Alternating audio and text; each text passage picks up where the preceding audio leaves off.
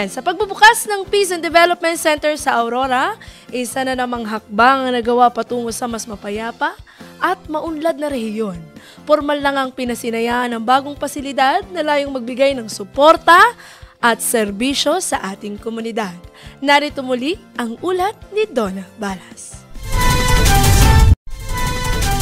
Pinasinayahan ang kauna-unahang Peace and Development Center sa Central Luzon na itinayo sa Aurora Trading Center Compound, Barangay Suklayin, Baler, Aurora, kamakailan.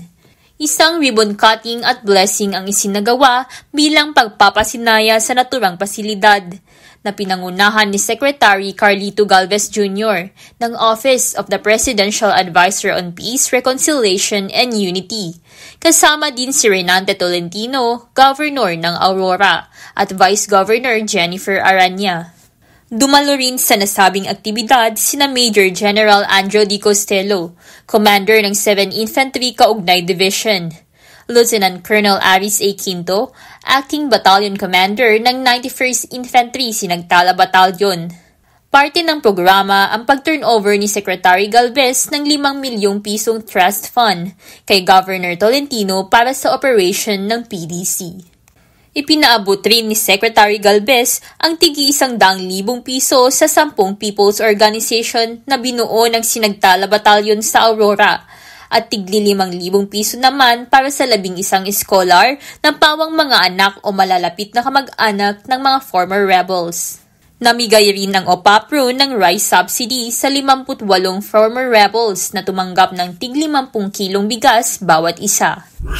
So yung 27 million na po na, ano, na request na Peace and Development Center, patatayo po natin yun, 27 million. Approve na po yun for 2035. So, yung ano na yun, yung uh, gagawin natin na Peace and Development Center, yun po parang training center po yun, parang one-stop shop na training center, na pwede pong gamitin yan sa mga TESDA training at saka skill training ng ating mga FRs. Samantala, lubos naman ang pasasalamat ng isang dating rebelde sa natanggap na tulong mula sa pamahalaan.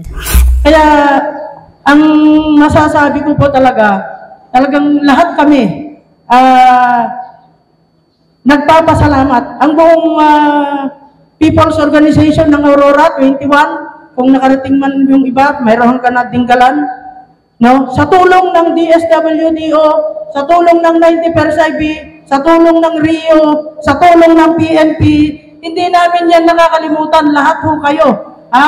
At lahat ng ahensya ng gobyerno po ay tumulong sa amin. Ayon naman kay Lieutenant Colonel Quinto, may labing isang people's organizations pa ang nakahanay upang tumanggap rin ng financial assistance mula sa pamahalaan. Kasabay nito, ginunita rin niya kung paano nabuo ang mga people's organizations sa pakikipagtulungan na rin ng iba't ibang ahensya ng pamahalaan.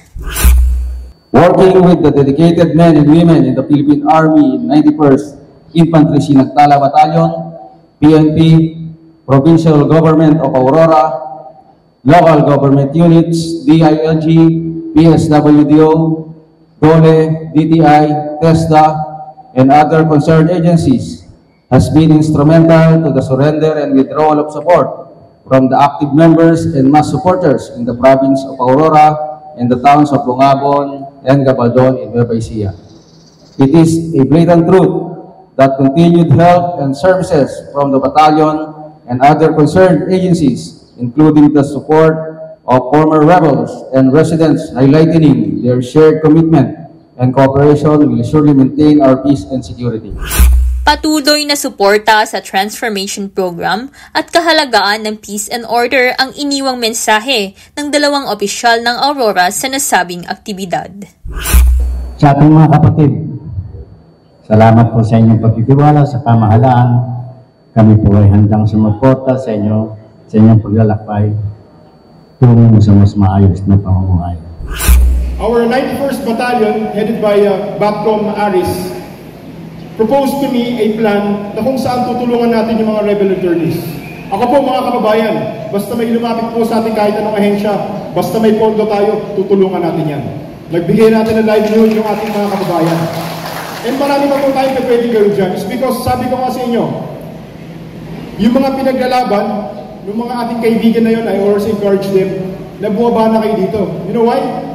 Kasi ito na po yung 2025, in my own opinion, will be the jump start ng lalawigan ng Aurora. Mula dito sa lalawigan ng Aurora, ako si Donna Balas, ang inyong kaugnay.